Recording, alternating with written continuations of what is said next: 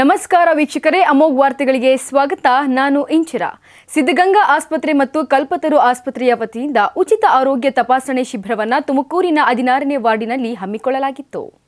ಹದಿನಾರನೇ ವಾರ್ಡಿನ ಕಾರ್ಪೊರೇಟ್ ಆದ ಇನಾಯುತುಲ್ಲಾ ಖಾನ್ ನೇತೃತ್ವದಲ್ಲಿ ಈ ಉಚಿತ ಆರೋಗ್ಯ ಶಿಬಿರವನ್ನು ನಡೆಸಲಾಯಿತು ಈ ಕಾರ್ಯಕ್ರಮವನ್ನು ಮಾಜಿ ಶಾಸಕರಾದ ರಫೀಕ್ ಅಹಮದ್ ಅವರು ಉದ್ಘಾಟನೆ ಮಾಡಿದರು ನಂತರ ಮಾತನಾಡಿದ ಅವರು ಈ ಆರೋಗ್ಯ ತಪಾಸಣೆ ಶಿಬಿರವನ್ನು ಏರ್ಪಡಿಸುವುದು ಒಳ್ಳೆಯ ವಿಷಯವಾಗಿದೆ ಹದಿನಾರನೇ ವಾರ್ಡಿನ ಜನರು ಈ ಅವಕಾಶವನ್ನು ಉಪಯೋಗಿಸಿಕೊಳ್ಳಬೇಕು ಎಂದು ತಿಳಿಸಿದರು ಯಾವುದು कौन से ले रही सो याद नहीं लेना पड़ेगा लेते हो लेना जरा ज्यादा है वो लाइट था सो एलईडी कर लेना बीपी दिया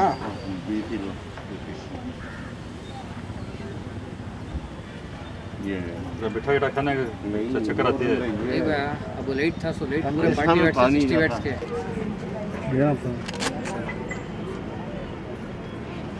ಬಿ ಪಿ ಶುಗರ್ ಏನೋ ಆಯ್ತೇನಮ್ಮ एक को वो लेना ನಮ್ಮ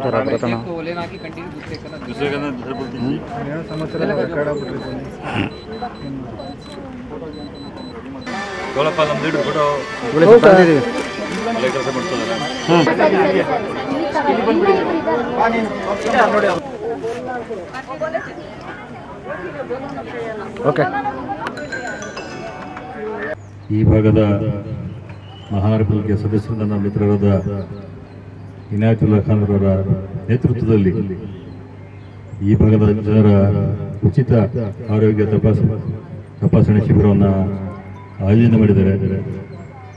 ಈ ತಪಾಸಣಾ ಶಿಬಿರವನ್ನು ಈಗ ತಾನೇ ಉದ್ಘಾಟನೆ ಮಾಡಿರುವ ನಮ್ಮ ವೈದ್ಯರಾದ ಸುರೇಶ್ ಬಾಬು ಕೂಡ ಇಲ್ಲಿದ್ದಾರೆ. ಈ ಭಾಗದ ಪಾಲಿಕೆ ಸದಸ್ಯರು ಮಿತ್ರರಾದ ಇನಾದ್ರು ಅವರಿದ್ದಾರೆ ಭಾಗದ ಎಲ್ಲ ನಾಯಕರುಗಳಿದ್ದಾರೆ ಹಾಗೂ ಆಸ್ಪತ್ರೆಯ ಸಿಬ್ಬಂದಿಗಳು ವೈದ್ಯಕೀಯ ವಿದ್ಯಾರ್ಥಿಗಳು ಇಲ್ಲೆಲ್ಲ ನಮ್ಮ ಈ ಭಾಗದ ಜನರು ಕೂಡ ಇಲ್ಲಿದ್ದಾರೆ. ಬಹಳ ಒಂದು ಒಳ್ಳೆಯ ಕಾರ್ಯವನ್ನು ನಮ್ಮ ನಗರ ಪಾಲಿಕೆ ಸದಸ್ಯರು ಇವತ್ತು ಪ್ರಾರಂಭ ಮಾಡಿದ್ದಾರೆ. ಕೋವಿಡ್ ಬಂದ ನಂತರ ನಮಗೆ ವೈದ್ಯರೇ ಹೇಳ್ತಾರೆ, ಕನಿಷ್ಠ ಆರು ತಿಂಗಳಿಂದ ಒಂದು ವರ್ಷಕ್ಕೆ ಒಂದ್ಸಲ ಆದರೂ ಬಂದು ನಾವು ಆರೋಗ್ಯವನ್ನು ಹದಿನಾರನೇ ವಾರ್ಡ್ನಲ್ಲಿ ಉಚಿತ ತಪಾಸಣೆ ನಡೀತಾ ಇದೆ. ಹೆಲ್ತ್ ಕ್ಯಾಂಪ್ ನಡೀತಾ ಇದ್ದೀನಿ.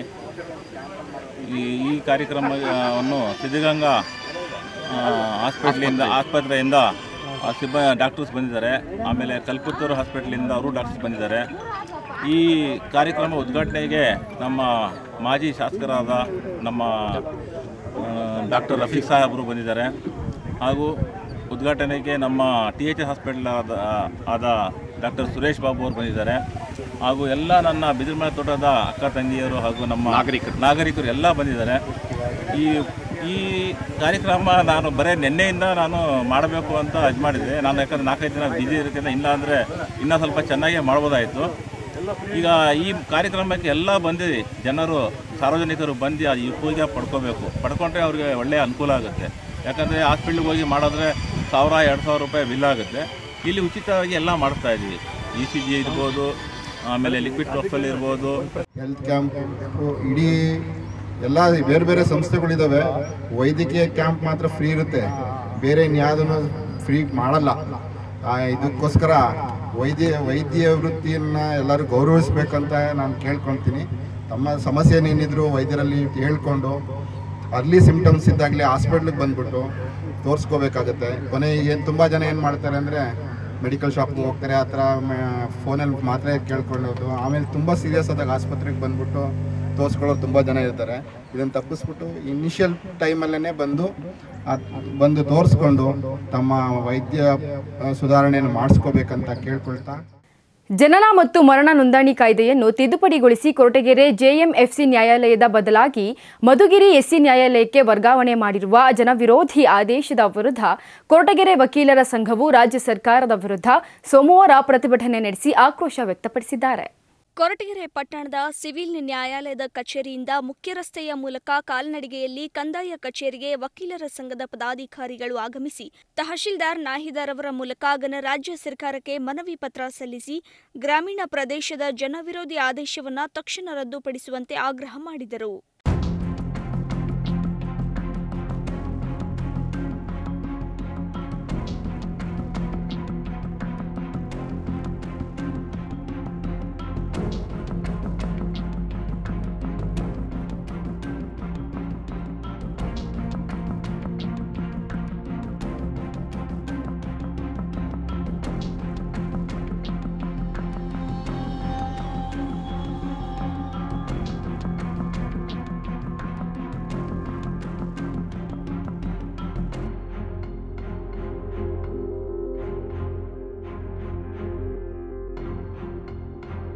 ಇನ್ನು ಕೊರಟಗೆರೆ ವಕೀಲರ ಸಂಘದ ಅಧ್ಯಕ್ಷ ಬಿಎಲ್ ನಾಗರಾಜು ಮಾತನಾಡಿ, ಜನನ ಮತ್ತು ಮರಣ ನೋಂದಣಿ ಕಾಯ್ದೆಯ ತಿದ್ದುಪಡಿ ಆದೇಶದಿಂದ ಜನಸಾಮಾನ್ಯರಿಗೆ ಸಾಕಷ್ಟು ಸಮಸ್ಯೆ ಆಗಲಿದೆ. ಸರ್ಕಾರದ ಏಕಾಏಕಿ ಆದೇಶದಿಂದ ಜನಸಾಮಾನ್ಯ, ಕಕ್ಷಿದಾರರ ಮತ್ತು ವಕೀಲರಿಗೆ ಜನನ ಮತ್ತು ಮರಣ ದೃಢೀಕರಣ ಪತ್ರ ಪಡೆಯಲು ತೊಂದರೆಯ ಜೊತೆಗೆ ದುಬಾರಿ ಆಗಲಿದೆ. ಸರ್ಕಾರ ಮಾಡಿರುವ ಆದೇಶವನ್ನು ತಕ್ಷಣ ರದ್ದುಪಡಿಸುವಂತೆ ವಕೀಲರ ಸಂಘ ಆಗ್ರಹ ಮಾಡುತ್ತಿದೆ ಎಂದರು. ಮಾನ್ಯ ಕರ್ನಾಟಕ ಜನ ಸರ್ಕಾರವು ದಿನಾಂಕ ಹದಿನೆಂಟು ಏಳು ಎರಡು ಸಾವಿರದ ಇಪ್ಪತ್ತೆರಡರಂದು ಜನನ ಹಾಗೂ ಮರಣ ನೋಂದಣ ಕಾಯ್ದೆ ಸಾವಿರದ ಒಂಬೈನೂರ ಅರವತ್ತೊಂಬತ್ತನ್ನು ತಿದ್ದುಪಡಿಗೊಳಿಸಿ ಸಿವಿಲ್ ಮತ್ತು ಜೆ ಎಂ ಎಫ್ ಸಿ ನ್ಯಾಯಾಲಯದ ವ್ಯಾಪ್ತಿಯನ್ನು ಉಪವಿಭಾಗಾಧಿಕಾರಿಗಳ ನ್ಯಾಯದ ವ್ಯಾಪ್ತಿಗೆ ಬರುವಂತೆ ಅಧಿಸೂಚನೆ ಹೊರಡಿಸಿದ್ದು, ಸದರಿ ಅಧಿಸೂಚನೆಯಿಂದ ಸಾರ್ವಜನಿಕರಿಗೆ, ವಕೀಲರುಗಳಿಗೆ ಹಾಗೂ ಜನನ ಹಾಗೂ ಮರಣ ಪ್ರಮಾಣ ಪತ್ರ ಪಡೆಯುವಲ್ಲಿ ತುಂಬಾ ನಷ್ಟ ಉಂಟಾಗ್ತಿದ್ದು.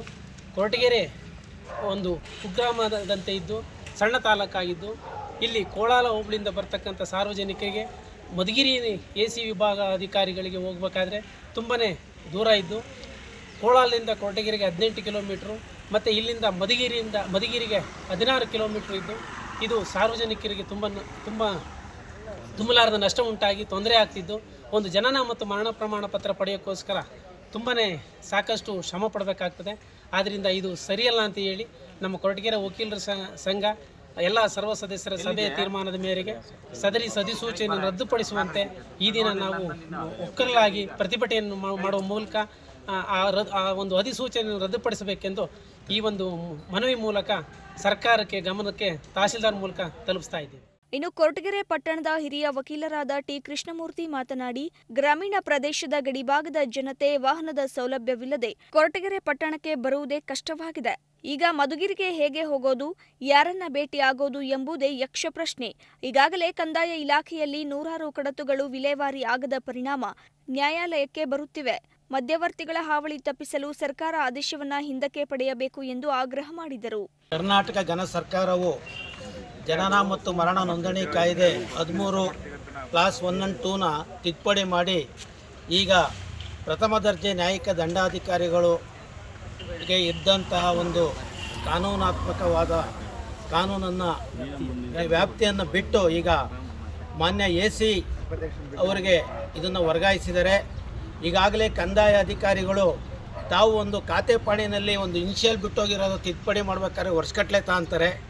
ಮತ್ತು ಯಾವುದೇ ಒಂದು ಸಣ್ಣ ಪ್ರಮಾಣದಲ್ಲೂ ಅವರು ಯಾವುದೇ ಒಂದು ಇದನ್ನು ಕಂದಾಯ ಅಧಿಕಾರಿಗಳಿಂದಲೇ ನಮ್ಮ ಕೋರ್ಟ್ಗಳಿಗೆಲ್ಲನೂ ಲಿಟಿಗೇಷನ್ ಜಾಸ್ತಿ ಆಗ್ತಾ ಇದೆ. ಮತ್ತು ಅಲ್ಲಿ ಕರಪ್ಟಿವ್ ಜಾಸ್ತಿ ನಡೀತಾ ಇದೆ. ಟೈಮು ವೇಸ್ಟು, ಮತ್ತು ಕರಪ್ಷನ್ನು ಜಾಸ್ತಿ ಆಗ್ತೈತೆ. ಮತ್ತು ಇವರು ಮಧ್ಯವರ್ತಿಗಳು ಜಾಸ್ತಿ ಆಗ್ತಾರೆ, ಅವರ ಹಾವಳಿ ಜಾಸ್ತಿ ಆಗ್ತೈತೆ. ಇದರಿಂದ ಘನ ಸರ್ಕಾರ ಏನು ಮಾಡಿದೆ, ನಮ್ಮ ನೋಂದಣಿ ಕಾಯ್ದೆ ಹದಿಮೂರು ಕ್ಲಾಸ್ ಒಂದು ಮತ್ತು ಎರಡು ತಿದ್ದುಪಡಿ ಮಾನ್ಯ ನ್ಯಾಯಿಕ ದಂಡಾಧಿಕಾರಿಗಳು ಈಗೇನು ಜೆ ಎಂ ಎಫ್ ಸಿ ಕೊಟ್ಟಿದ್ದಾರೆ, ಅದನ್ನೇ ಮುಂದುವರಿಸ್ಕೊಂಡು ಹೋಗಬೇಕು. ಮಾನ್ಯ ಎ ಸಿ ನ್ಯಾಯಾಲಯಕ್ಕೆ ಏನೇ ಆದೇಶ ಮಾಡ್ಯಾವ್ರೆ ಈಗ ಅಲ್ಲಿರೋ ಒಂದು ಆರ್ ಆರ್ ಟಿ ಡಿಸ್ಪ್ಯೂಟ್ ಆಗಿರ್ಬೋದು, ಅಪೀಲ್ಗಳಾಗಿರ್ಬೋದು ಅವುಗಳನ್ನು ಸಹ ಈ ಕ- ನಮ್ಮ ನ್ಯಾಯಾಲಯದ ವ್ಯಾಪ್ತಿಗೆ ತಂದರೆ ಇನ್ನೂ ಭಾಳಷ್ಟು ಜನಗಳು ಒಳ್ಳೆಯದಾಗುತ್ತೆ ಶೀಘ್ರ ನ್ಯಾಯ, ಮತ್ತು ಶೀಘ್ರವಾಗಿ ಎಲ್ಲರಿಗೂ ಅನುಕೂಲ ಆಗ್ತೈತೆ. ಇದರಿಂದ ಏನಾಗ್ತೈತೆ ಅಂದರೆ ಈ ತಿದ್ದುಪಡಿಯಿಂದ ಸತ್ತಿರೋರನ್ನ ಬದುಕಿಸ್ತಾರೆ ಬದುಕಿರೋರನ್ನ ಸತ್ತೋಹಂಗೆ ಮಾಡಿ ದಾಖಲೆಗಳನ್ನ ತಿದ್ದುಪಡಿ ಮಾಡಿ ರಿಜಿಸ್ಟರ್ ನೋಂದಣಿ ಮಾಡೋಂಗೆ ವ್ಯವಸ್ಥೆಗಳು ಶುರುವಾಗುತ್ತೆ ಅಂತ ನಾನು ಈ ಮೂಲಕ ಜನ ಸರ್ಕಾರಕ್ಕೆ ಪ್ರಾರ್ಥಿಸ್ತಾ ಇದ್ದೀನಿ. ಇನ್ನು ಈ ಪ್ರತಿಭಟನೆಯಲ್ಲಿ ಕೊರಟಗೆರೆ ವಕೀಲರ ಸಂಘದ ಉಪಾಧ್ಯಕ್ಷ ಶಿವಕುಮಾರ್, ಪ್ರಧಾನ ಕಾರ್ಯದರ್ಶಿ ಮಲ್ಲಿಕಾರ್ಜುನಯ್ಯ, ಜಂಟಿ ಕಾರ್ಯದರ್ಶಿ ಹುಸೇನ್ ಪಾಷಾ, ಕೆಂಪರಾಜಮ್ಮ ಸೇರಿದಂತೆ ಇತರರು ಇದ್ದರು. ಕ್ಯಾಮರಾಮ್ಯಾನ್ ಎಚ್ಎನ್ ನಾಗರಾಜು ಜೊತೆ ಎನ್ಮೂರ್ತಿ ಅಮೋಕ್ ಟಿವಿ ಕೊರಟಗೆರೆ. ಭಾರತ ದೇಶದಲ್ಲಿ ರಕ್ತದ ಅವಶ್ಯಕತೆ ಹೆಚ್ಚು ಇರುವುದರಿಂದ ಇಂದಿನ ಯುವ ಶಕ್ತಿಯಾಗಿರುವ ಯುವಕರು ಸ್ವಯಂ ಪ್ರೇರಿತವಾಗಿ ರಕ್ತದಾನ ಮಾಡಲು ಮುಂದೆ ಬರಬೇಕು. ಅಪಘಾತಗಳಾದ ಸಂದರ್ಭದಲ್ಲಿ ತುರ್ತಾಗಿ ರಕ್ತ ಬೇಕಾಗುತ್ತದೆ. ಜೊತೆಗೆ ರಕ್ತದ ಕೊರತೆಯಿಂದ ರೋಗಿಗಳು ಬಹಳ ಸಮಸ್ಯೆಗಳನ್ನು ಎದುರಿಸುತ್ತಿದ್ದು, ರಕ್ತದಾನಕ್ಕಿಂತಲೂ ಮಿಗಿಲಾದ ದಾನ ಬೇರೊಂದಿಲ್ಲ ಎಂದು ಶಿಡ್ಲಘಟ್ಟ ವಿಧಾನಸಭಾ ಕ್ಷೇತ್ರದ ಮಾಜಿ ಶಾಸಕ ಎಂ ರಾಜಣ್ಣ ತಿಳಿಸಿದರು. ನಗರದ ಹೊರವಲಯದಲ್ಲಿರುವ ಬಾಲಾಜಿ ಕನ್ವೆನ್ಷನ್ ಹಾಲ್ನಲ್ಲಿ ಬಿಜೆಪಿ ಯುವ ಮೋರ್ಚಾ ವತಿಯಿಂದ ಎಪ್ಪತ್ತೈದನೇ ಸ್ವಾತಂತ್ರ್ಯ ಅಮೃತ ಮಹೋತ್ಸವದ ಪ್ರಯುಕ್ತ ಹಮ್ಮಿಕೊಂಡಿದ್ದ ಬೃಹತ್ ರಕ್ತದಾನ ಶಿಬಿರದಲ್ಲಿ ಮಾತನಾಡಿದ ಅವರು, ಒಬ್ಬ ವ್ಯಕ್ತಿ ರಕ್ತ ಕೊಡುವುದರಿಂದ ನಾಲ್ಕು ಜನರಿಗೆ ಉಪಯೋಗವಾಗುತ್ತದೆ. ರಕ್ತದಾನದಿಂದ ಬಡವರ ಜೀವ ಉಳಿಯುತ್ತದೆ. ರಕ್ತದಾನದಿಂದ ಒಳ್ಳೆಯ ಆರೋಗ್ಯವೂ ಸಿಗುತ್ತದೆ ಎಂದರು. ವಿಧಾನಸಭಾ ಕ್ಷೇತ್ರದ ಭಾರತೀಯ ಜನತಾ ಪಕ್ಷದ ಯುವ ಮೋರ್ಚಾದ ವತಿಯಿಂದ ಶಿಬಿರ ಸ್ವಾತಂತ್ರ್ಯ ಹೋರಾಟಗಾರರಿಗೆ ಸನ್ಮಾನ, ಸಾಧಕರಿಗೆ ಸನ್ಮಾನ ಒಂದು ಈ ಕಾರ್ಯಕ್ರಮ ಹಮ್ಮಿಕೊಂಡಿದ್ದೇವೆ. ಈ ಕಾರ್ಯಕ್ರಮದ ಮೂಲ ಉದ್ದೇಶ ಇವತ್ತೇನು ಭಾರತ ದೇಶದಲ್ಲಿ ರಕ್ತದ ಅವಶ್ಯಕತೆ ಹೆಚ್ಚಿರೋದ್ರಿಂದ ರೋಗಿಗಳಿಗಿರ್ಬೋದು ಆಕ್ಸಿಡೆಂಟ್ ಆದವರಿರ್ಬೋದು ಭಾಳ ಸಮಸ್ಯೆ ಇರೋದ್ರಿಂದ ವಿಶೇಷವಾಗಿ ಯುವಶಕ್ತಿ ಒಂದು ರಕ್ತವನ್ನು ಕೊಡೋದ್ರಿಂದ ಒಳ್ಳೆಯ ರಕ್ತದಾನಕ್ಕಿಂತ ಇಲ್ಲದ ದಾನ ಇಲ್ಲ ಮತ್ತು ರಕ್ತ ಯಾವುದೇ ರೀತಿಯಲ್ಲಿ ತಯಾರು ಮಾಡೋದಿಲ್ಲ. ಅದು ಕೇವಲ ನಮ್ಮ ದೇಹದಲ್ಲಿ ಉತ್ಪತ್ತಿ ಆಗ್ತದೆ. ಅದರಿಂದ ಯುವಶಕ್ತಿ ಆ ಯುವಕರು ರಕ್ತವನ್ನು ಕೊಡೋದ್ರಿಂದ ಮತ್ತೆ ಹೊಸ ರಕ್ತ ವೃದ್ಧಿ ಆಗ್ತದೆ. ಆ ನಿಟ್ಟಿನಲ್ಲಿ ಇವತ್ತು ಭಾರತ ಸರ್ಕಾರ ಇರ್ಬೋದು ರಾಜ್ಯ ಸರ್ಕಾರ ಇರ್ಬೋದು, ಮತ್ತು ಹಲವಾರು ಸಂಘ ಸಂಸ್ಥೆಗಳು ಇವತ್ತಿನ ಭಾರತೀಯ ರೆಡ್ ಕ್ರಾಸ್ ಸಂಸ್ಥೆ ವತಿಯಿಂದ ಇವತ್ತು ಅತ್ಯಂತ ಹೆಚ್ಚಿನ ಒಂದು ರಕ್ತದ ಶೇಖರಣೆ ಮಾಡಬೇಕಂತೇಳಿ ಇವತ್ತು ಈ ನಮ್ಮ ಯುವ ಮೋರ್ಚಾದಿಂದ ಈ ಕಾರ್ಯಕ್ರಮ ಹಾಕ್ಕೊಂಡಿದ್ದೇವೆ ಸುಮಾರು ನಮ್ಮ ಗುರಿ ಒಂದು ಐನೂರು ಯೂನಿಟ್ ಮಾಡಬೇಕಂತ ಒಂದು ನಾವು ಕಾರ್ಯಕ್ರಮ ಹಮ್ಮಿಕೊಂಡಿದ್ದೇವೆ. ಇವತ್ತು ನಮ್ಮ ಕೆಲವೇ ನಿಮಿಷದಲ್ಲಿ ನಮ್ಮ ಮಾನ್ಯ ಸಚಿವರು ಬಂದು ಇದು ಉದ್ಘಾಟನೆ ಮಾಡಿದಂಥ ಬಹಳಷ್ಟು ಜನ ಯುವಕರು ಇನ್ನು ಕಾಯ್ತಾ ಇದ್ದಾರೆ. ಆ ಒಂದು ಭಕ್ತ ರಕ್ತವನ್ನು ಕೊಡೋಕ್ಕೆ ಮತ್ತು ನಮ್ಮ ಮೂಲ ಉದ್ದೇಶ ಎಷ್ಟು?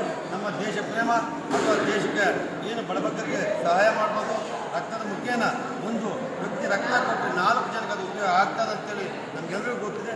ಆ ನಿಟ್ಟಿನಲ್ಲಿ ನಮ್ಮ ಯುವ ಮೋರ್ಚಾದಿಂದ ಈ ರಕ್ತದಾನ ಶಿಬಿರವನ್ನು ಇನ್ನು ಯುವ ಮೋರ್ಚಾ ನಗರಾಧ್ಯಕ್ಷ ಜೆಎಸ್ ಭರತ್ಕುಮಾರ್ ಗೌಡ ಮಾತನಾಡಿ, ಎಪ್ಪತ್ತೈದನೇ ಅಮೃತ ಮಹೋತ್ಸವ ದಿನದಂದು ಬಾವುಟ ಹಾರಿಸಿ ಸಿಹಿ ಹಂಚಿ ಸಂಭ್ರಮಿಸುವುದಕ್ಕೆ ಸೀಮಿತವಾಗದೆ, ದೇಶಕ್ಕೊಂದು ಉತ್ತಮವಾದ ಸಂದೇಶ ನೀಡುವ ನಿಟ್ಟಿನಲ್ಲಿ ಯುವ ಮೋರ್ಚಾದಿಂದ ಒಳ್ಳೆಯ ಕಾರ್ಯಕ್ರಮ ಕೊಡಬೇಕಿದೆ. ಈ ಹಿನ್ನೆಲೆ ರಕ್ತದಾನ ಶಿಬಿರ ಮಾಡಲಾಗಿದೆ ಎಂದರು ಭಾರತೀಯ ಜನತಾ ಪಾರ್ಟಿ ಯುವ ಮೋರ್ಚಾ ವತಿಯಿಂದ ಏನು ಈ ಸತಿ ಎಪ್ಪತ್ತೈದನೇ ನಮ್ಮ ಸ್ವಾತಂತ್ರ್ಯ ಬಂದು ಎಪ್ಪತ್ತೈದು ವರ್ಷಗಳಾಗುತ್ತೆ ಎಪ್ಪತ್ತೈದನೇ ವರ್ಷನ ಅಮೃತ ಮಹೋತ್ಸವ ಆಚರಣೆ ಮಾಡ್ತಾರೆ ತೀರ್ಮಾನ ಮಾಡಿದಾಗ ಏನು ಭಾರತ ಕಟ್ಟಿನ ಸಿಹಿ ಹಂಚಿ ಅಮೃತ ಮಹೋತ್ಸವ ಆಚರಣೆ ಮಾಡಿದಾಗ ಒಂದು ದೇಶಕ್ಕೊಂದು ಒಳ್ಳೆ ಕಾರ್ಯಕ್ರಮ ಕೊಡಬೇಕು ಆ ಕಾರ್ಯಕ್ರಮ ಯಾವ ರೀತಿಯಲ್ಲಿ ಇರಬೇಕಂದ್ರೆ ಜನಕ್ಕೆ ಅನುಕೂಲ ಆಗುತ್ತೆ. ಆ ನಿಟ್ಟಿನಲ್ಲಿ ಯೋಚನೆ ಮಾಡಿದಾಗ ರಕ್ತದಾನ ಶಿಬಿರ ಮಾಡೋದು ಸೂಕ್ತ ಯಾಕಂದರೆ ಇವತ್ತು ನಮ್ಮ ದೇಶದಲ್ಲಿ ಪ್ರತಿ ಎರಡು ಸೆಕೆಂಡ್ ಒಂದು ಮನುಷ್ಯನಿಗೆ ರಕ್ತ ಬೇಕು. ರಕ್ತದ ಕೊರತೆ ಅಷ್ಟಿದೆ ನಾನು ಕೆಲವು ಕಾಯಿಲೆಗಳಿರ್ಬೋದು ಅನಾಹುತ ಅದನ್ನು ನೀಗಿಸೋದಕ್ಕೋಸ್ಕರ ನಾವು ಈ ಕಾರ್ಯಕ್ರಮ ಮಾಡಿದ್ರೆ ಒಳ್ಳೆ ಕಾರ್ಯಕ್ರಮ ಆಗುತ್ತೆ ಅಂದ್ಬಿಟ್ಟು ತಾಲೂಕಿನಲ್ಲಿ ಎಲ್ಲ ಸಂಚಾರ ಮಾಡಿ ರಕ್ತದಾನ ಶಿಬಿರ ಬೃಹತ್ ರಕ್ತದಾನ ಶಿಬಿರವನ್ನು ಇಟ್ಕೊಂಡಿದ್ದೀವಿ ಯುವಕರೆಲ್ಲ ಬಂದು ರಕ್ತದಾನ ಮಾಡ್ತಿದ್ದಾರೆ ಅದು ನಮ್ಮೆಲ್ಲರಿಗೂ ಹೆಮ್ಮೆ ಆ, ಹೆಮ್ಮೆ ಅನಿಸುತ್ತೆ ಇನ್ನು ಈ ಕಾರ್ಯಕ್ರಮದಲ್ಲಿ ವಿಧಾನ ಪರಿಷತ್ ಸದಸ್ಯ ಕೇಶವ ಪ್ರಸಾದ್, ಬಿಜೆಪಿ ಜಿಲ್ಲಾಧ್ಯಕ್ಷ ರಾಮಲಿಂಗಪ್ಪ, ಯುವ ಮೋರ್ಚಾ ರಾಜ್ಯಾಧ್ಯಕ್ಷ ಸಂದೀಪ್ ಕುಮಾರ್, ಗ್ರಾಮಾಂತರ ಘಟಕದ ನಾಗಾರ್ಜುನ್, ತಾತಹಳ್ಳಿ ಕನಕ ಪ್ರಸಾದ್ ಮತ್ತಿತರರು ಭಾಗವಹಿಸಿದ್ದರು. ಕೋಟಹಳ್ಳಿ ಅನಿಲ್ ಕುಮಾರ್, ಅಮೋಕ್ ಟಿವಿ, ಶಿಡ್ಲಘಟ್ಟ. ಗ್ರಾಮ ಪಂಚಾಯಿತಿ ವತಿಯಿಂದ ಹಂಚಿಕೆ ಮಾಡಿರುವ ಅನುದಾನವನ್ನು ಸಕ್ರಿಯವಾಗಿ ಬಳಕೆ ಮಾಡಿಕೊಂಡು ಅಭಿವೃದ್ಧಿಗೆ ಕೈಜೋಡಿಸುವುದನ್ನು ಬಿಟ್ಟು ಅಭಿವೃದ್ಧಿಯನ್ನು ಕೆಡಿಸುವ ಉದ್ದೇಶದಿಂದ ಇಲ್ಲ ಸಲ್ಲದ ಆರೋಪಗಳನ್ನು ಮಾಡುವುದು ನಿಮ್ಮ ಸ್ಥಾನಕ್ಕೆ ಶೋಭೆ ತರುವುದಿಲ್ಲ ಎಂದು ಚಿಂತಾಮಣಿಯಲ್ಲಿ ಪೆರಮಾಚಿನಹಳ್ಳಿ ಗ್ರಾಮ ಪಂಚಾಯಿತಿಯ ಆಡಳಿತಾರೂಢ ಸದಸ್ಯರು ವಿರೋಧ ಪಕ್ಷದ ಸದಸ್ಯರಿಗೆ ತಿರುಗೇಟು ನೀಡಿದ್ದಾರೆ. ಗ್ರಾಮ ಪಂಚಾಯಿತಿ ಉಪಾಧ್ಯಕ್ಷ ಚನ್ನಕೃಷ್ಣಪ್ಪ ಮಾತನಾಡಿ, ತಾಲೂಕಿನ ಪೇರಮಾಚನಹಳ್ಳಿ ಗ್ರಾಮ ಪಂಚಾಯಿತಿಯಲ್ಲಿನ ಅಭಿವೃದ್ಧಿ ಕುಂಠಿತವಾಗಿದೆ. ಆದ್ದರಿಂದ ಗ್ರಾಮ ಪಂಚಾಯಿತಿಯಲ್ಲಿ ಹಮ್ಮಿಕೊಂಡಿದ್ದ ಸಾಮಾನ್ಯ ಸಭೆಗೆ ಹಲವು ಸದಸ್ಯರು ಗೈರು ಹಾಜರಾಗಿದ್ದರು ಎಂದು ವಿರೋಧ ಬಣ ಸದಸ್ಯರು ಆರೋಪಿಸಿದ್ದಕ್ಕೆ ತಿರುಗೇಟು ನೀಡಿದ ಆಡಳಿತ ರೂಢ ಸದಸ್ಯರು ನಾಯಂದ್ರನಹಳ್ಳಿಯ ಸದಸ್ಯರಿಗೆ ನೀಡಿದ್ದ ಅನುದಾನವನ್ನ ಸಕ್ರಿಯವಾಗಿ ಬಳಕೆ ಮಾಡಿಕೊಂಡು ಅಭಿವೃದ್ಧಿ ಕಾರ್ಯಗಳನ್ನ ಮಾಡದೆ ಅವರವರೇ ಕಿತ್ತಾಡಿಕೊಂಡು ಕೊಟ್ಟ ಅನುದಾನವನ್ನ ವಾಪಸ್ಸು ಕಳುಹಿಸಿದ್ದಾರೆ ಎಂದರು. ಉಪಾಧ್ಯಕ್ಷರು ನಾವು ಚನ್ನಕೃಷ್ಣಪ್ಪ ಅಂತ. ನಾವು ಈಗ ನಮ್ಮ ಪಂಚಾಯಿತಿಯಲ್ಲಿ ಈ ಕೆಲವು ಮೆಂಬರುಗಳು ಕುಂಠಿತ ಮಾಡೋದು. ಏನೋ ಈ ಉಪಾಧ್ಯಕ್ಷರು, ಅಧ್ಯಕ್ಷರು ಆದಾಗಿನಿಂದ ನಾವು ಆಗಲಿಲ್ಲ ಅನ್ನೋ ದುರುದ್ದೇಶ ಇಟ್ಕೊಂಡು ಇವರು ಏನು ಪ್ರತಿಯೊಂದು ಮೀಟಿಂಗಲ್ಲಿ ಕುಂಠಿತನ ಮಾಡ್ತಾನೆ ಇದ್ದಾರೆ. ಏನು? ಕಾರ್ಯಗತವಾಗಿ ನಾವೆಲ್ಲ ಹಳ್ಳಿಗಳಿಗೂ ಕರೆಕ್ಟಾಗಿ ಹಂಚ್ತಾ ಇದ್ದೀವಿ. ಎಲ್ಲ ಸ್ಪಂದಿಸಿ, ಎಲ್ಲ ನೀ ಕುಡಿಯೋ ನೀರಿಗೆ ಆಗಲಿ, ಚರಂಡಿಗಾಗಲಿ ಎಲ್ಲನೂ ಕೊಟ್ಟಿದ್ರು ಇವಾಗ ಫಾರ್ ಎಕ್ಸಾಂಪಲ್ಲು ನಾಯಂದ್ರಹಳ್ಳಿಗೆ ನಾವು ಪ್ರತಿಯೊಂದು ಬರ್ಕೊಟ್ಟಿದ್ದೀವಿ. ಏನು ಪೈಪ್ಲೈನ್ ಬೇಕು ಅಂತ. ಆ ಊರಲ್ಲಿ ಅವರಲ್ಲಿ ಹೆಚ್ಚು ಕಮ್ಮಿ ಅವರು ಗಲಾಟೆ ಇಟ್ಕೊಂಡು ಅವ್ರು ಮಾಡದೇ ಇದೆ ಕಾರಣ ಇದೆ. ನಾವು ಬರ್ಕೊಟ್ಟು ಕೆಲಸ ಮಾಡಿಲ್ಲ. ಏನೋ ಎಪ್ಪತ್ತು ಸಾವಿರಗೆ ನಾವು ಪೈಪ್ಲೈನ್ ಒಂದು ಬರ್ಕೊಟ್ವಿ. ಯಾಕೆ ಮಾಡಲಿಲ್ಲ? ಚರಂಡಿ ಬರ್ಕೊಟ್ಟು ಚೆ ಮತ್ತೆ ಚರಂಡಿ ಬರ್ಕೊಟ್ಟಿದ್ವಿ. ಯಾಕೆ ಮಾಡಲಿಲ್ಲ? ಇನ್ನು ಈ ವೇಳೆ ಮುಖಂಡ ದೇವರಾಜ್ ಮಾತನಾಡಿ ಮೈಲಾಪುರ ಗ್ರಾಮಕ್ಕೆ ಅನುದಾನವೇ ನೀಡಿಲ್ಲ ಎಂಬ ಆರೋಪಕ್ಕೆ ಪ್ರತಿಕ್ರಿಯಿಸಿ ಮೈಲಾಪುರದ ಸದಸ್ಯರೊಬ್ಬರ ಮನೆಗೆ ಎಪ್ಪತ್ತೈದು ಸಾವಿರ ಪೈಪ್ಲೈನ್ ಹಾಕಿಸಿಕೊಂಡಿದ್ದಾರೆ. ಅದೂ ಅಲ್ಲದೆ ಬೀದಿ ದ್ವೀಪ ಚರಂಡಿ ಸ್ವಚ್ಛತೆ ಸೇರಿದಂತೆ ಲಕ್ಷಾಂತರ ರೂಪಾಯಿ ಕೆಲಸಗಳನ್ನ ಮಾಡಲಾಗಿದೆ. ಆದರೂ ವಿರೋಧ ಬಣದ ಸದಸ್ಯರು ಈ ರೀತಿ ಆರೋಪ ಮಾಡುವುದು ಸರಿಯಿಲ್ಲ ಎಂದರು. ಅಪ್ಪ, ಬರೀ ಮೀಟಿಂಗಲ್ಲಿ ಬರೀ ಕೂಗಾಡೋದು ಕೂಗಾಡೋದು ಕೂಗಾಡೋದು. ಬೇರೆ ಬಿಟ್ಟರೆ ಬೇರೆ ಏನು ಉದ್ದೇಶಪೂರ್ವಕ ಬೇರೆ ಏನೂ ಇಲ್ಲ ಅವ್ರಿಗೆ. ಏನು ಅಭಿವೃದ್ಧಿ ಮಾಡ್ಕೋಬೇಕಪ್ಪ ನಮ್ಮ ಊರಲ್ಲಿ, ನಮ್ಮ ಗ್ರಾಮಕ್ಕೆ ಚೆನ್ನಾಗಿಲ್ಲ ಅನ್ನೋ ಉದ್ದೇಶ ಇಲ್ಲ ಅವ್ರಿಗೆ. ವೈಯಕ್ತಿಕವಾಗಿ ಸುಮ್ಮನೆ ಕೂಗಾಡೋದು. ಅವರಿಬ್ಬರು ಬಿಟ್ಟರೆ ಹದಿನೆಂಟು ಜನ ಎಲ್ಲ ಒಳ್ಳೆಯವರು ಸರ್. ನಿನ್ನೆ ಹದಿನೈದು ಜನ ಅಂತ ಹೇಳ್ತಾರಲ್ಲ, ಒಂಬತ್ತು ಜನ ಬಂದು ಸೈನ್ ಆಗ್ಬಿಟ್ಟು ಹೋಗಿದ್ದಾರೆ. ನಮ್ಮವ್ರು ಇಬ್ಬರು ಒಬ್ಬರು ಬೆಂಗಳೂರಲ್ಲಿ ಬ್ಯಾಂಕಲ್ಲಿ ಕೆಲಸ ಮಾಡ್ತಾರೆ, ಅವ್ರು ಬರೋಕ್ಕಾಗಿಲ್ಲ. ಇನ್ನೊಬ್ರು ಸುನೀಲ್ ಅನ್ನೋರು ಪಾಪ ಎಲ್ಲ ಹೋಗಿದ್ರು, ಅವರು ಬರೋಕ್ಕಾಗಿಲ್ಲ. ಅವರಿಬ್ಬರು ಬಂದಿಲ್ಲ. ನಮ್ಮವ್ರು ಹನ್ನೊಂದು ಜನ ಕರೆಕ್ಟ್ ಆಗಿದ್ದಾರೆ. ನಿನ್ನೆ ಒಂಬತ್ತು ಜನ ಸೈನ್ ಮಾಡಿದ್ದಾರೆ. ಇನ್ನಿಬ್ಬರು ಬರಬೇಕಾಗಿತ್ತು, ಅವರೆಲ್ಲ ಹೋಗಿದ್ರು, ಬರೋಕ್ಕಾಗಿಲ್ಲ. ಆಯಿತಾ? ಹದಿನೈದು ಜನ ಎಲ್ಲಿ ಗೈರಾಗಿಲ್ಲ ನೀವು ಬೇಕಾ ಸಿ ಸಿ ಕ್ಯಾಮ್ರಾ ಇದೆ ತೆಗೆದು ನೋಡಿ. ಒಂಬತ್ತು ಜನ ಸೈನ್ ಮಾಡಿಬಿಟ್ಟು ಹೋಗಿದ್ದಾರೆ. ಇನ್ನು ಈ ಸಂದರ್ಭದಲ್ಲಿ ಗ್ರಾಮ ಪಂಚಾಯಿತಿ ಸದಸ್ಯ ಮುನಿಶಾಮಿ ರೆಡ್ಡಿ ಮುಖಂಡರಾದ ದೇವರಾಜ್ ಮೈಲಾಪುರ ಚೌಡಾರೆಡ್ಡಿ ನೈಂದ್ರಹಳ್ಳಿ ಕೃಷ್ಣಾರೆಡ್ಡಿ ಕೆಂದನಹಳ್ಳಿ ರಾಮರೆಡ್ಡಿ ಮಾಜಿ ಅಧ್ಯಕ್ಷ ರವಿ ಸೇರಿದಂತೆ ಮತ್ತಿತರರು ಉಪಸ್ಥಿತರಿದ್ದರು. ವೆಂಕಟಚಲಪತಿ ಅಮೋಕ್ ಟಿವಿ ಚಿಂತಾಮಣಿ. ನಾನು ಹತ್ತು ವರ್ಷಗಳ ಕಾಲ ಶಾಸಕ ಹಾಗೂ ಸಚಿವರಾಗಿದ್ದಾಗ ಈ ಗ್ರಾಮದಲ್ಲಿ ಯಾವುದೇ ಮೂಲಭೂತ ಸೌಕರ್ಯಗಳ ಕೊರತೆ ಇರಲಿಲ್ಲ. ನನ್ನ ಅವಧಿಯಲ್ಲಿ ಗ್ರಾಮಕ್ಕೆ ಶುದ್ಧ ಕುಡಿಯುವ ನೀರಿನ ಘಟಕ, ಉತ್ತಮವಾದ ಚರಂಡಿ ವ್ಯವಸ್ಥೆ ಸಿಸಿ ರಸ್ತೆ, ವಿದ್ಯುತ್, ದೀಪದ ಕಂಬಗಳು, ಗ್ರಾಮದಲ್ಲಿರುವ ಕಡು ಬಡವರಿಗೆ ವಸತಿ ಯೋಜನೆ ಅಡಿಯಲ್ಲಿ ಮನೆಗಳನ್ನು ನಿರ್ಮಿಸಿಕೊಟ್ಟಿದ್ದೇನೆ ಎಂದು ಮಾಜಿ ಸಚಿವ ಹಾಗೂ ಮಾಜಿ ಶಾಸಕ ವರ್ತೂರು ಆರ್ ಪ್ರಕಾಶ್ ಕೋಲಾರದಲ್ಲಿ ತಿಳಿಸಿದರು.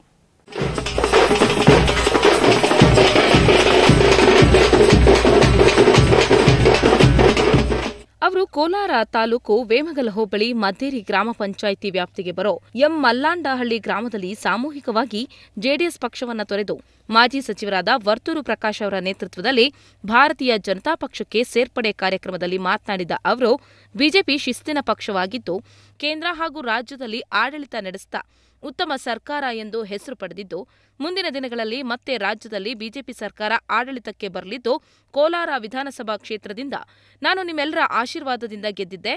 ಆದರೆ ಕ್ಷೇತ್ರದ ಸರ್ವಾಂಗೀಣ ಅಭಿವೃದ್ಧಿಗೆ ಹಗಲಿರಲು ದುಡಿತೇನೆ.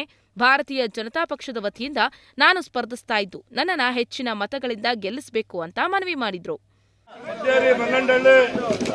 ಗ್ರಾಮದಲ್ಲಿ ಕಳೆದ ಹತ್ತು ವರ್ಷಗಳು ಏನು ನಾನು ಗ್ರಾಮಕ್ಕೆ ಮಾಡಿದಂಥ ಸೇವೆಯನ್ನ ಗುರುತಿಸಿ ಇವತ್ತು ಶೇಕಡ ಅರವತ್ತು ಪರ್ಸೆಂಟ್ ನಮ್ಮ ಗುಂಪಿತ್ತು. ಅದ್ರ ಜೊತೆಯಲ್ಲಿ ನಮ್ಮ ಯುವ ಮುಖಂಡರಾದಂಥ ಸುರೇಶ್ ಅವರ ನಾಯಕತ್ವದಲ್ಲಿ ಇವತ್ತು ಇನ್ನೂ ಒಂದು ಇಪ್ಪತ್ತು ಪರ್ಸೆಂಟ್ ನಮ್ಮ ಜೊತೆ ಕೈ ಜೋಡಿಸವ್ರೆ. ಜೆಡಿಎಸ್ ಪಕ್ಷವನ್ನು ಬಿಟ್ಟು ಭಾರತೀಯ ಜನತಾ ಪಕ್ಷದ ಸತ್ವ ಸಿದ್ಧಾಂತಗಳಿಗೆ ಮೈಗೂಡಿಸಿಕೊಂಡು ಇವತ್ತು ಮದ್ದೇರಿ ಮಲ್ಲಂಡಹಳ್ಳಿಯಲ್ಲಿ ನಮಗೆ ಬೆಂಬಲವನ್ನು ಸೂಚಿಸಿ ಭಾರತೀಯ ಜನತಾ ಪಕ್ಷಕ್ಕೆ ಸೇರಿದ್ದಾರೆ. ಸೇರಿದಂತ ಎಲ್ಲ ಮಹನೀಯರಿಗೂ ಕೂಡ ಭಾರತೀಯ ಜನತಾ ಪಕ್ಷದ ಪರವಾಗಿ ತುಂಬ ಹೃದಯದ ಧನ್ಯವಾದವನ್ನು ಅರ್ಪಿಸ್ತಾ ಇದ್ದೀನಿ. ಈ ಸಂದರ್ಭದಲ್ಲಿ ಮುಖಂಡರಾದ ಬೆಗ್ಲಿ ಸೂರ್ಯಪ್ರಕಾಶ್, ಜಿಲ್ಲಾ ಪಂಚಾಯತ್ ಮಾಜಿ ಅಧ್ಯಕ್ಷರಾದ ಸಿಎಸ್ ವೆಂಕಟೇಶ್, ಕೋಲಾರ ನಗರ ಅಭಿವೃದ್ಧಿ ಪ್ರಾಧಿಕಾರದ ಅಧ್ಯಕ್ಷರಾದ ವಿಜಯಕುಮಾರ್, ಮಾಜಿ ಜಿಲ್ಲಾ ಪಂಚಾಯತ್ ಸದಸ್ಯರಾದ ರೂಪಶ್ರೀ ಮಂಜು, ಮುಖಂಡರಾದ ಬಂಕ್ ಮಂಜುನಾಥ್ ಮತ್ತಿತರರು ಉಪಸ್ಥಿತರಿದ್ದರು. ಲಕ್ಷ್ಮೀಪತಿ, ಅಮೋಕ್ ಟಿವಿ, ಕೋಲಾರ. ಇದಾಗಿತ್ತು ಈ ಹೊತ್ತಿನ ಪ್ರಮುಖ ಸುದ್ದಿಗಳು. ಮತ್ತಷ್ಟು ಪ್ರಮುಖ ಸುದ್ದಿಗಳಿಗಾಗಿ ನೋಡ್ತಾ ಇರಿ ಅಮೋಕ್ ಟಿವಿ. ಎಂದೆಂದಿಗೂ ನಿಮ್ಮೊಂದಿಗೆ.